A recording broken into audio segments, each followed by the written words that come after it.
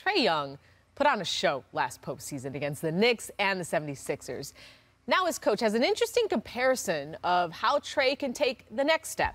Nate McMillan told Sports Illustrated he's got one of those fast cars. You can't drive that car the same way on a sunny day as you can when it's raining and snowing out there. And he was playing fast.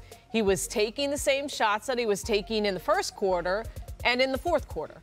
He wasn't adapting to conditions. It's similar to Michael Jordan when he first came into the league.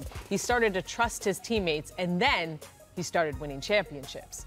Now, last season, Trae was fourth in points created behind only Westbrook, Harden, and Luka. But this is more about the how Trae is doing it. And Perk, what do you think of Nate McMillan's analogy on Trae's growth this season? You know what? I actually love it. And, and I think people would take it out of context, but what he's saying is, is that hey, I have a superstar. Yes, Trae Young is a superstar, and we all know that he's capable of going out there and getting, you know, 30 or 28 to 30 points a night. But the good ones do it on a at, at a high efficiency rate.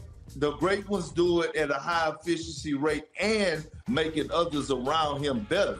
So what he's telling Trae Young is is, is that hey, I love the numbers. We know that you're a superstar. I love the numbers. I love the stats. I love everything about your game. Now let's take it to another level. Let's be more efficient and let's make others around us better. I used to tell guys all the time, hey, look, first through sec, first, second, and third quarter, the superstars that I play with, hey, get others involved. In the fourth quarter, take it over. This is why you get paid the big bucks. And this is how you get to that level of winning championships. Because again, this is not an individual sport like boxing or tennis. You actually need your teammates to help you win.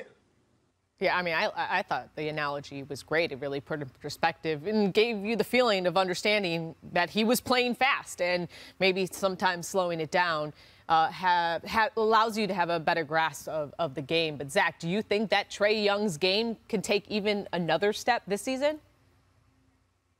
Yeah, and I think I think the transition Nate McMillan is talking about already started happening last year. The last 20, 30 games of the season into the playoffs, you could see him get in the lane and instead of prodding, prodding, prodding, waiting for that pass that will get him an assist every time, if the defense converges, hey, here, Kevin Huerter, you make a play. DeAndre Hunter, you make a play. You make a dribble, drive, and kick. We'll keep the machine moving. I might not get an assist. Maybe I'll get a hockey assist, but guess what? Everyone feels more involved. The offense starts flowing a little better. I still get my numbers I'm Trae freaking young and I'm amazing. Yes. And guys, when they feel involved on offense, Perk can talk about this. When guys feel involved in offense, players talk about this all the time. It flows over to the other end. They're willing to give more on defense. They play harder. The spirit of the game changes. It's a small little change. It doesn't require a total reinvention of Trae Young's game, but you could see it start happening last year. And I think it's one of the reasons the Hawks did as well as they did in the playoffs. And also, you can't.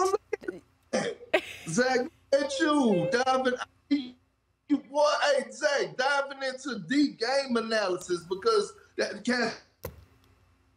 He was so right. Look, seriously, we used to start when I was with the Thunder. We used to make sure that we got Serge Ibaka. we ran the first play of the game for Serge Ibaka. You know why? Once he got involved offensively, we knew we was going to get eight to ten blocks that game. Look at Zach. I mean, Perk, mm. have you ever read a Zach Lowe article? Those things take you about 25 minutes to read. Like, there's a whole darn breakdown. You know, he, he's going to break it down for you. I haven't seen a full hour of Zach speaking the gospel. Right, right.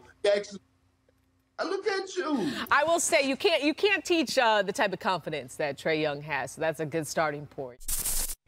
Thanks for watching ESPN on YouTube. For live streaming sports and premium content, subscribe to ESPN Plus.